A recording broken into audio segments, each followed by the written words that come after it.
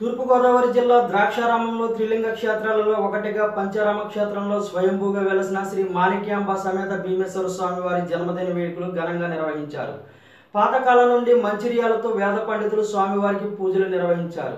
ఆలయ యువ స్వలపతిరావు స్వయంగా అభిషేకంలో పాల్గొన్నారు. రామచంద్రపురం ఎమ్మెల్యే తోట త్రిమూర్తులు స్వామివారి జన్మదిన వేడుకల్లో పాల్గొని విశేష పూజలు నిర్వహించారు. అనంతరం ఎమ్మెల్యేకు ఆలయ అధికారులు పండిత ఆశీర్వచనాలు పలికారు. శ్రీ మాణిక్యాంబ సమేత భీమేశ్వర స్వామి వార్ల గ్రామోత్సవం నిర్వహించారు. ఈ కార్యక్రమంలో పలువురు భక్తులు పాల్గొన్నారు.